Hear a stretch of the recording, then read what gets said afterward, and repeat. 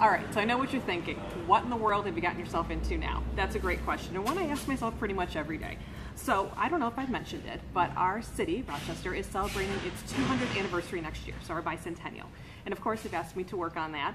And I'm always coming up with different cool ways that we might be able to give a piece of Rochester for people to take home. So I saw this great article. I posted actually on my Facebook page, and I'll post a link in my comments. If you do go on Facebook, look for Downtown Geek. It's a great article about an artist out in Europe that they actually go around and they find manhole covers that have the names of cities, have cool patterns on them, and they actually put paint on them, and then they imprint them on t-shirts, they imprint them on tote bags, things like that. I thought that would be super fun. So I looked around our city, and we do have lots of manhole covers that say Rochester on them.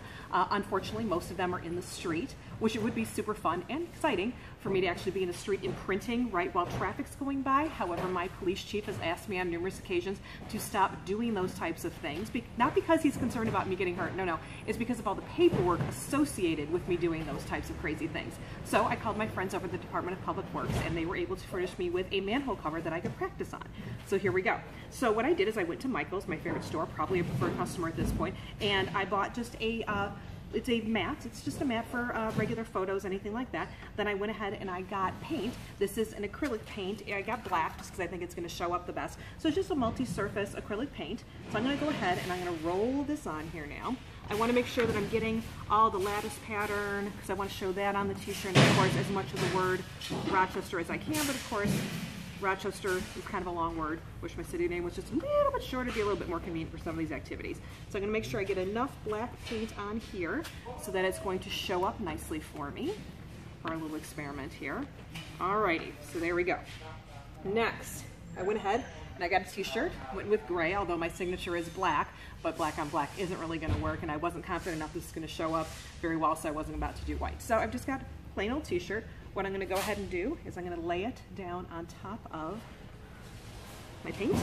Then I'm going to take my clean roller right here, actually, which was clean until I just got black paint on it. Okay. And we're gonna go ahead, since that got dirt on it, and I'm gonna just press. I'm going to press and hope this is gonna work.